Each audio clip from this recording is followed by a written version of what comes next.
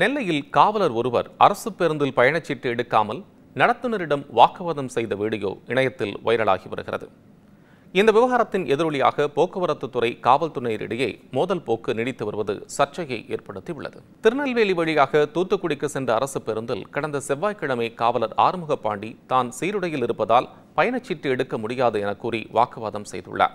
இந்த வீடியோ சமூக வலைதளங்களில் வைரலானதை அடுத்து வாரண்ட் இருந்தால் மட்டுமே காவல்துறையினர் பேருந்தில் கட்டணமின்றி பயணிக்க முடியும் என்றும் மற்ற அனைத்து நேரங்களிலும் டிக்கெட் எடுத்து பயணிக்க வேண்டும் எனவும் போக்குவரத்து துறையின் தரப்பில் விளக்கம் அளிக்கப்பட்டது. இதன் எதிரொலியாகவே தாம்பரத்தில் நோ பார்க்கிங்கில் நிறுத்தி வைக்கப்பட்டிருந்த அரசு பேருந்துக்கு போக்குவரத்து போலீசார் அபராதம் விதித்ததாகவும் கூறப்பட்டது. மேலும் போக்குவரத்து விதிகளை மீறும் வாகனங்களை கண்காணித்து அபராதம் விதிக்கும் பணியில் போக்குவரத்து போலீசார் ஈடுபட்டனர். அதனைத் தொடர்ந்து தமிழ்நாடு அரசு போக்குவரத்து கழக சம்மேளனம் இந்த பிரச்சினைக்கு முடிவு ஏற்படுத்த வேண்டும் என கோரிக்கை விடுத்திருந்தனர்.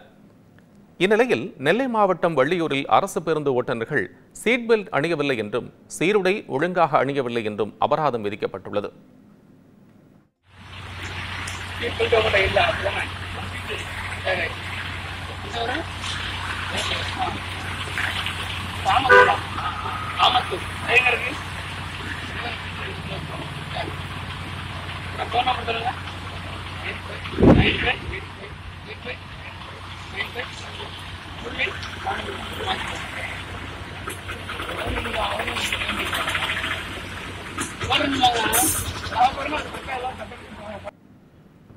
அதேபோல் ஈரோட்டில் போக்குவரத்து விதிமுறைகளை மீறிய அரசு மற்றும் தனியார் பேருந்துகள் கனரக வாகனங்களுக்கு போக்குவரத்து போலீசார் அபராதம் விதித்துள்ளனர்.